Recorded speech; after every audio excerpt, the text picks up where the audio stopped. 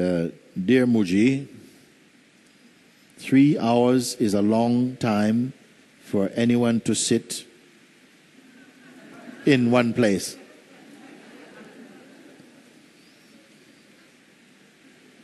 I didn't determine that we are going to sit here for three hours. I don't know. Sometimes that thing is one hour and a half or so. A suggestion at the two hour mark, allow people to stand and scratch for a few moments. Uh, um, scratch.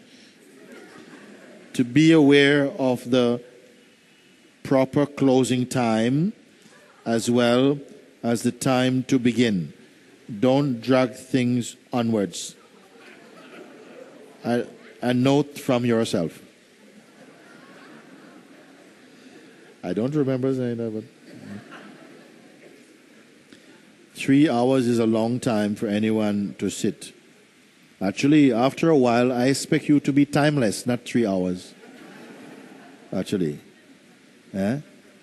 In the days of sometimes sitting with Papaji, uh, we were sitting uh, on marble floors and little, tiny little uh, cushions.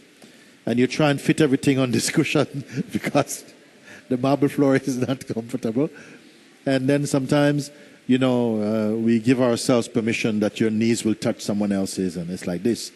So, and uh, in such a situation, at first very much discomfort come, and after a while you forget about it because you you start to pay attention, and then you start to feel the inner the inner uh, comfort will override the outer discomfort somehow.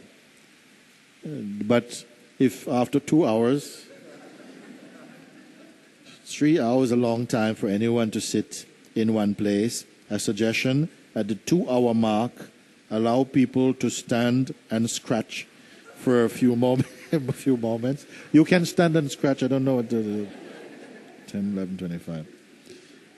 Um, be aware of the proper closing time. What is the proper closing time? Nobody told me about it. um, as well as the time to begin. I am pretty much, I think I might be five minutes sometime, ten minutes. Um. And the last thing, don't drag things on onwards. A note for yourself. No signature. I didn't.